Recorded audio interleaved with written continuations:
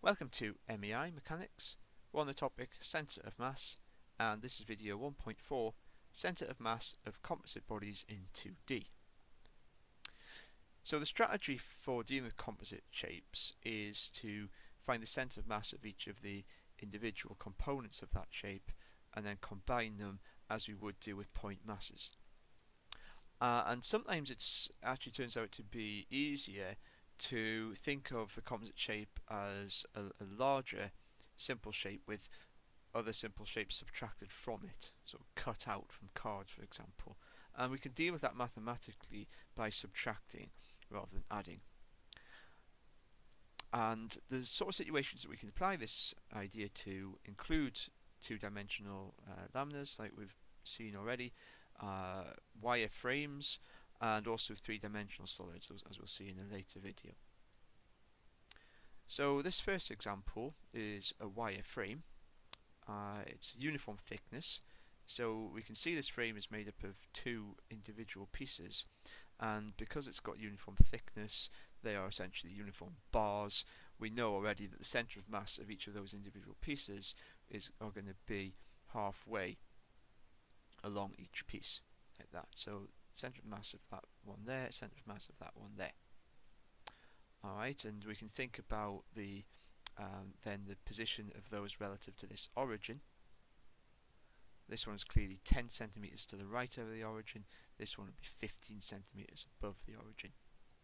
And just like the example that we saw in the previous video, we're not told any actual masses here, but what we do know is that the mass of these is going to be proportional to their length. So we'll say that this bar has a mass of 20k and this one has a mass of 30k. So now we're ready to uh, combine these. We'll do this with the help of a table. Um, so for shape A, well we'll call this one A and we'll call this one B. Mass of shape A is 20k. X coordinate of the centre of mass of shape A is 10 and the y coordinate is 0 and then for shape B mass is 30k x coordinate of its centre of mass is 0, the y coordinate is 15. So multiplying the 20k by the x coordinate gives us 200k and then obviously 0 for y times the mass. And then for shape B we have 0 and then 30 times 15 which is 450 okay We then need to add these up, so total mass is 50k. And sum of these values is 200k. Sum of these is 450k. And then we do our standard calculation now for the centre of mass in the x direction. So it's a sum of the individual x values times the masses, which is 200k. over the total mass, which is 50k. So the k's cancel. 200 over 50 is 4. So the x coordinate of the centre of mass is 4. If we do the same thing for the y coordinate, so we'll be doing 450k divided by 50k, uh, and that is clearly 9. So the centre of mass is at coordinate 4, 9 and that's relative to this origin. So roughly where is that? Well, uh, about there along that bar and round about there. Just roughly, just so we can see it. And again we can understand this because the mass is sort of concentrated around this region where you've got both the bars. Alright, so this is, sort of makes sense in terms of what we'd expect. Now, in this example, uh, what we have is we have a rectangular piece of card, uh, and from that card, two shapes have been cut out. Now, we could try to think about making this shape by adding lots of little pieces together, but that's going to be quite difficult. In fact, when it comes to things like the pieces that we'd put together to make the edge of this circle, very difficult indeed to say the least.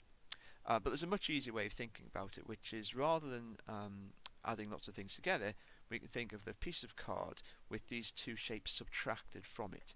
Alright, so in a sense we can think of these as being shapes of negative mass.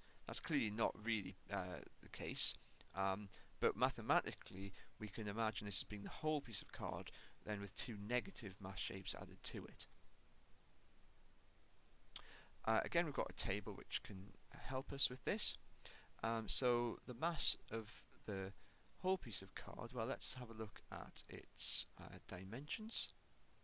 So the area of that triangle is what's going to give us something which is proportional to the mass um, and that is 1350 multiplied by our usual constant there, k.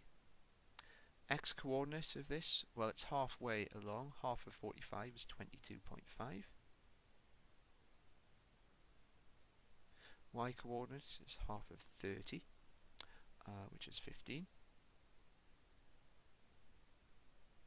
Okay, and then later we will multiply those two values together to get xi mi, and we'll multiply those two values together to get yi mi.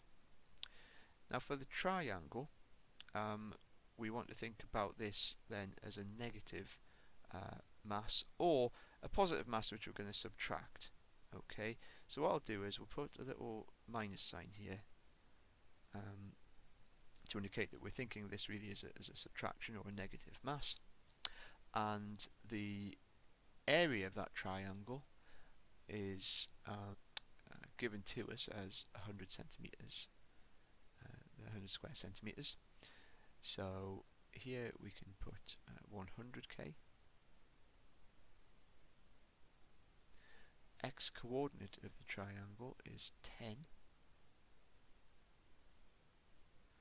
and the y coordinate is 11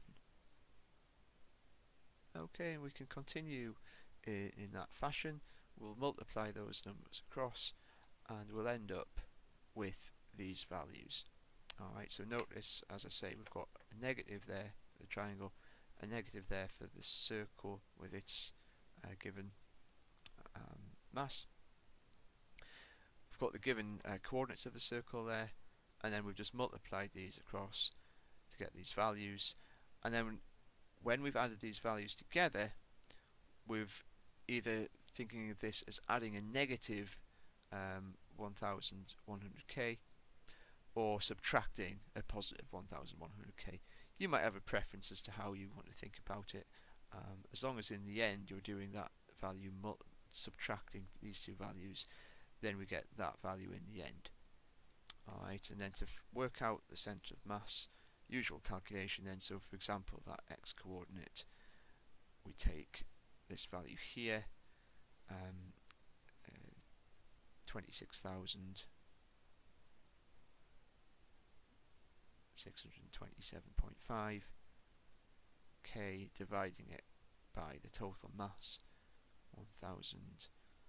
1171.5k. k's cancel and that x coordinate is approximately 22.7 alright centimeters do exactly the same type of thing for y using this value and this value and that gives us 15.3 and those are then the coordinates of the centre of mass of that shape so that concludes video 1.4, centre of mass of composite bodies in 2D. In the next video 1.5, we're going to look at the centre of mass of composite bodies in 3D.